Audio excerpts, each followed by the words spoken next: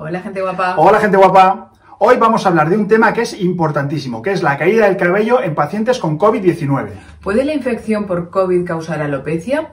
¿Puede empeorar una alopecia previamente existente? Y si no tengo síntomas, ¿también se me puede caer el pelo?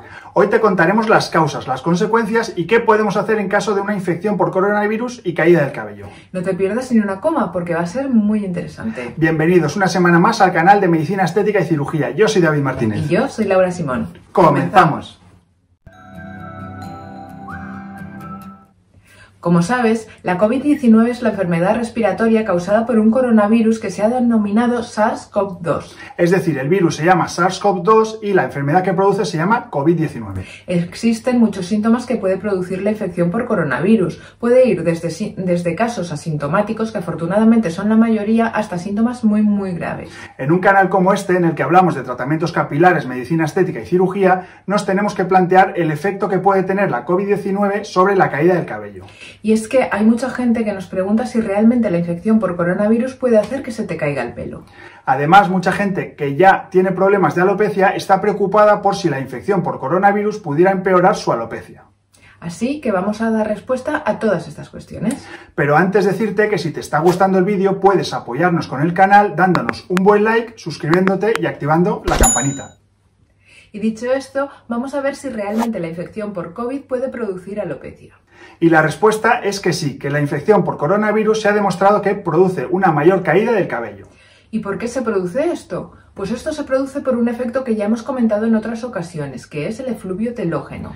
La fiebre, algunas enfermedades o diferentes situaciones de estrés pueden provocar un efluvio telógeno, donde muchos de los pelos que se encuentran en fase de crecimiento pasan a una fase telógeno en la que se cae más el pelo.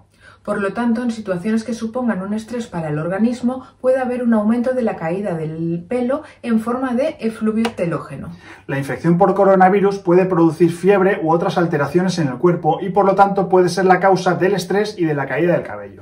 Además, el estrés psicológico que acompaña a toda esta situación por el confinamiento, por el miedo, por las noticias catastróficas que oímos en los medios de comunicación de forma constante, etc., también pueden empeorar esta caída. Por último, el ver que se nos cae el pelo apuñado suele generarnos también mayor grado de ansiedad, con lo que el problema puede volverse un círculo vicioso. Se me cae más el pelo y me estreso, y como me estreso se me cae más el pelo, y así sucesivamente. Entonces, ¿cuándo se me va a caer el pelo a causa de la COVID?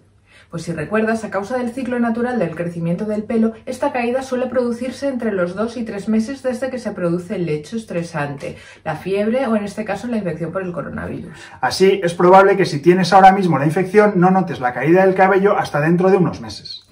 ¿Y cuánto puede durar esta caída? Pues siempre puede haber excepciones, pero a nivel general podemos decir que durará de 6 a 9 meses.